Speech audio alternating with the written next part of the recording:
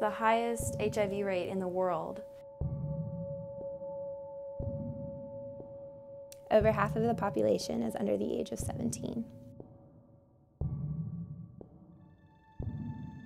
Orphans make up 64% of the population.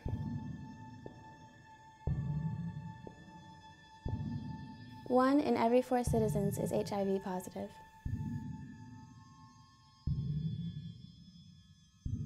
I saw a child who had just lost both her parents. I saw a woman when I looked in her eyes, she looked dead inside.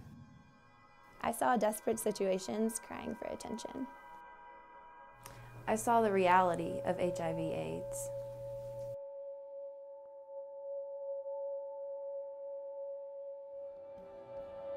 For the past four years through the Extended Melody Project, MVNU has brought together talent within our community to raise money to support people in need all around the world. This year, we hope to bring our campus together to unite as the branches of Christ to help the Luke Commission fulfill their mission of fighting HIV AIDS in Swaziland, Africa. Extraordinary things happen. When God's people are willing to move.